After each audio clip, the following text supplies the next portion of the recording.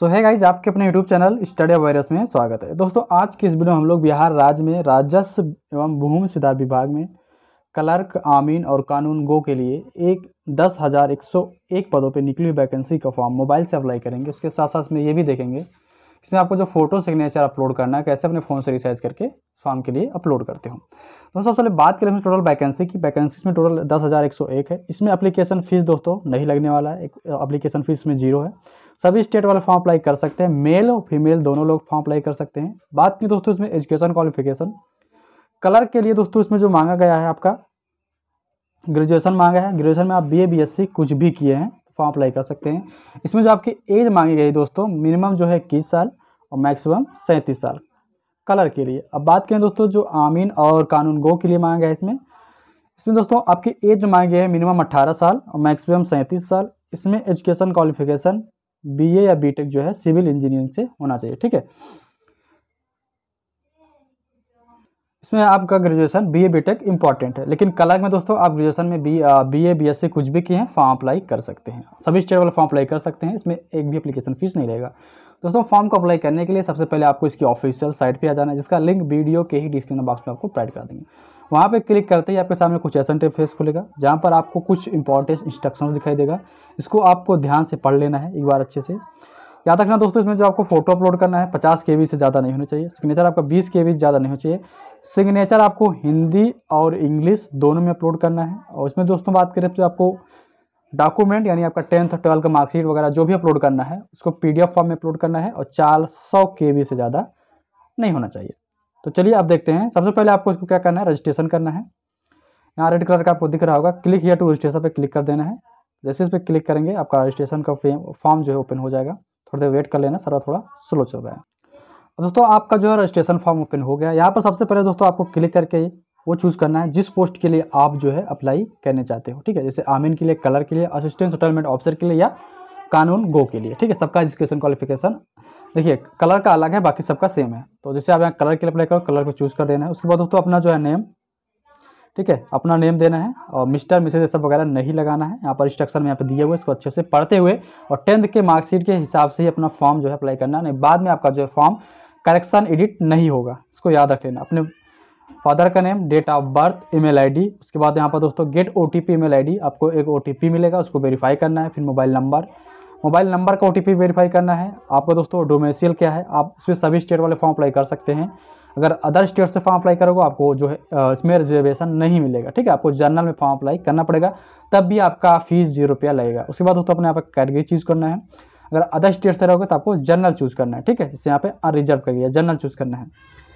अपना डिस्ट्रिक्ट और physical handicap है तो यस नहीं तो नो अगर दोस्तों वार्ड ऑफ़ फ्रीडम फाइटर है तो यस नहीं दोस्तों तो नो कर देना। जेंडर क्या है? आपको नेम एज पर आधार कार्ड ठीक है? आपके आधार कार्ड पर आपका नेम क्या है? Date year of birth is Aadhaar card पर आपका जो है, आधार कार्ड पर आपका date of birth Aadhaar card number उसके यहाँ पर अपने दोस्तों कैप्चर कोड फिलअप करना है। उसके बाद यहाँ पे बॉक्स को क्लिक कर देना है। उसके बाद दोस्तों रजिस्टर पे आपको क्लिक कर देना है। ठीक है? दोस्तों, सारे ऑप्शन अच्छे से फिलअप करने के बाद यहाँ पर आई एग्री पे क्लिक रजिस्ट्रेशन पे क्लिक कर देना दोस्तों, याद रखना, थोड़ा सर्वर स्लो चल रहा है। तो वेट कर लेना, ठीक है? सर्वर स्लो होने की वजह से थोड़ा वेट समय लगेगा। तो चलिए आप देखते हैं आपको जो फ़ोटो सिग्नेचर अपलोड करना है, वो कैसे रिसाइज करना है और कितने के करना है, कैसे आपको अपलोड करना है। दोस्तों, अपनी एक ऐसी हाफ़ फ़ोटो ले लेना पासपोर्ट साइज़ का, ठीक है? सेल्फी वगैरह मत खींच लेना फ़ोटो का बैकग्राउंड लाइट होना चाहिए। सबके फ़ोन में ऑप्शन होता है क्रॉप करने का, इसका जो एक्स्ट्रा साइज़ दिख रहे है आपको क्रॉप कर देना, ठीक है? फ़ोटो को जो है अपने मोबाइल से खड़ा करके खींचना, ठीक है? लैंड स्केप स्केप में खींचना, ठीक है? बाद में फॉर्म क्या होता है? फ़ोटो आपका जो है इरेक्ट हो जाता है, ठीक है? घूम जाता है। तो ऐसे बना लेना है। अब इसको जो रिसाइज़ करना है, ठीक है? इसे पचास के के अंदर में ही रखना है ताकि आपका फ़ोटो जो फॉर्म में अपलोड हो जाए फाइनली तो इसको करने के लिए आपको एक ऐप्स की ज़रूरत पड़ेगी। चलिए आपको दिखाते हैं आगे। दोस्तों फ़ोटो को रिसाइज करने के लिए आपको अपने एक गूगल प्ले स्टोर से जाकर इस ऐप्स को इंस्टॉल कर लेना है। ऐप्स का नाम फ़ोटो पिक्चर रिसाइजर करके इसको ओपन करोगे जैसे ही आपके सामने कुछ ऐसे इंटरफेस खुलेगा, जहाँ पर आपको सेलेक्ट फ़ोटो पे जैसे क्लिक करोगे, ये आपके गैलरी में आपको लेकर चली जाए गैलरी से आपको वही फ़ोटो चूज़ कर जो फ़ोटो अभी आप क्रॉप किए थे, इसको रिसाइज करना। है आप देख रहे होंगे, ये वाली फ़ोटो थी, जैसे यहाँ पे चार सौ ग्यारह के भी दिख रहा है। इस पर फ़ोटो पे, उस पर क्लिक कर देना है इसे, ठीक है? ये आपके ऐप्स में लेके चली जाएगी। यहाँ पे देख रहे हैं चार सौ दो के भी है। यहाँ पर आपको, यहाँ पे ये राइट साइड पे, यहाँ पे आपको क्लिक करना है। आपके सामने कुछ ऐसा इंटरफेस खुलेगा। इसे दोस्तों, चलिए परसेंटेज के हिसाब से भी कम कर सकते हैं, और इसे डायमेंशन के चाहे वेथ और हाइट के हिसाब से भी कस्टम पे क्लिक करके आप इंटर करके कर सकते हैं। तो चलिए, इसको हम परसेंटेज के हिसाब से कम करते हैं। देखिए कितना के बनता है। तो दोस्तों आप देख रहे हैं, अब यहाँ पे फ़ोटो की जो साइज़ है, अड़तीस के हो गई है। फाइनली से आप आप फॉर्म में अपलोड कर सकते हैं। सेम प्रोसेस से सिग्नेचर करना है। सिग्नेचर को 20 के से ज़्यादा नहीं रखना ब्लैक पेन से, ठीक है वाइट पेपर पर करना है। हिंदी इंग्लिश दोनों में आपका सिग्नेचर अपलोड होगा। तो चलिए, अब आपको बताते हैं जो डॉक्यूमेंट अपलोड करना है, उसे पी में कैसे कन्वर्ट करना है है ना? दोस्तों आपको जो डॉक्यूमेंट पीडीएफ में कन्वर्ट करने के लिए सबसे पहले क्या करना है जैसे फ़ोटो आप खींचे थे उसे फ़ोटो खींच लेना है और उसका जो एक्स्ट्रा साइज़ है, उसे क्रॉप कर लेना उसके बाद दोस्तों, आप यहाँ पर एक आपको एक ऐप्स की और ज़रूरत पड़ेगी, जिसका नाम है जेपीजी टू पीडीएफ कन्वर्टर इस ऐप्स को अपने गूगल प्ले स्टोर जाकर इंस्टॉल कर लेना। इसको जैसे ओपन करोगे, आपके सामने कुछ ऐसे फेस खुलेगा। दोस्तों, ये जो है वीडियो कोई जो है प्रमोशनल वीडियो नहीं है, ठीक है? जैसे ओपन हो जाएगा, आप फ़ाइल पर क्लिक कर देना है। फ़ाइल पर क्लिक करोगे, आपके जाके आपके गैलरी में लेके चली जाएगी। जैसे आप देख रहे हैं, यहाँ से आपको जो फ़ोटो को पीडीएफ में कन्वर्ट करना है, जिसको, जिस डॉक्यूमेंट को, उसको सिलेक्ट कर लेना है। चलिए सिलेक्ट करके दिखा जैसे मुझे इसको जो है क्या करना है पीडीएफ में कन्वर्ट करना है, ठीक है? इस पर क्लिक किए यहाँ पे ग्रीन कलर का टिक का निशान बन जाएगा डन पे क्लिक कर देना है। और यहाँ पे इसको पोर्ट्रेट ही रखना और यहाँ पर जो है दोस्तों कन्वर्ट टू पीडीएफ में क्लिक कर देना है। चलिए इसको क्लिक करके दिखाते हैं।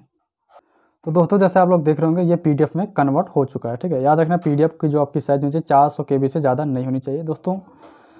यहाँ पे देख रहे हैं पीडीएफ लिखा हुआ दिख रहा है ना? तो पीडीएफ में बन गया, ये भी आपके गैलरी में जाके सेव हो जाती है। नहीं, इस पीडीएफ को यहाँ से शेयर कर देना, किसी के रैंडमली व्हाट्सअप पर भेज देना। उसको बोल देना, वो दोबारा से आपके व्हाट्सअप पे भेज दे, आपके गैलरी में जो है रिसेंटली सेव हो जाता है। कभी कभी क्या होता है, ऐसे डायरेक्ट पीडीएफ कन्वर्ट करने के बाद वो अपलोड नहीं होता है। लेकिन जब व्हाट्सअप पर भेजा जाएगा तो आपका फाइनली अपलोड हो जाएगा, ठीक है? याद रखें चार सौ ज़्यादा नहीं होना चाहिए। तो आपको जानकारी कैसे ले, कमेंट बॉक्स में कमेंट करिए और अभी तक चैनल को सब्सक्राइब नहीं किया, चैनल को सब्सक्राइब कर लीजिए। दोस्तों, याद रखें जो ओटीपी वगैरह आ रहा है, ठीक है जी पे और आपके फ़ोन नंबर पर थोड़ा समय लग रहा है सर्वर इरर होने की वजह से, ठीक है? सर्वर स्लो होने की वजह से। तो वेट कर लीजिएगा, यानी रात में अगर आप फॉर्म अप्लाई करते हैं तो सर्वर काफ़ी अच्छा चलता है, उस वक्त आप आराम से अप्लाई कर पाएँगे। दोस्तों आपको जानकारी कैसे लेकर कमेंट बॉक्स में कमेंट करिए। फॉर्म थोड़ा अच्छा है। और बात करें दोस्तों वैकेंसी की। वैकेंसी आपकी गवर्नमेंट नहीं है। तो गवर्नमेंट जॉब नहीं है, ये जो है आपका ठेका वाली वैकेंसी है ना? कंटेक्ट कॉन्टैक्ट बेस पे है, ठीक है? चलिए मिलते हैं नेक्स्ट इन्फॉर्मेशन के साथ। तब तक टेक कर अभी तक चैनल को सब्सक्राइब नहीं किया, चैनल को सब्सक्राइब कर लीजिएगा।